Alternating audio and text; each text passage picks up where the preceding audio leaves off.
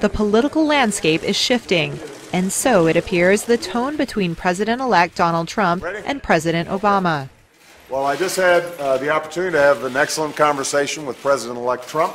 The two met face to face for the first time ever on Thursday. The White House says they put aside their differences to focus on a smooth transition of power. We want to do everything we can to help you succeed because if you succeed, then the country succeeds.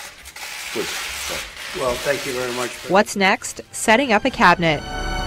Trump's early list appears to reward people loyal to him during his heated campaign. According to sources, it could be Alabama Senator Jeff Sessions as defense secretary, retired General Michael Flynn for Trump's national security advisor, Newt Gingrich or Bob Corker for Secretary of State.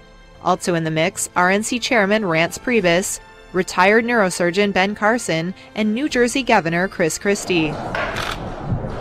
The White House says their top priority is to ensure a smooth transition of power before Donald Trump is sworn in as president.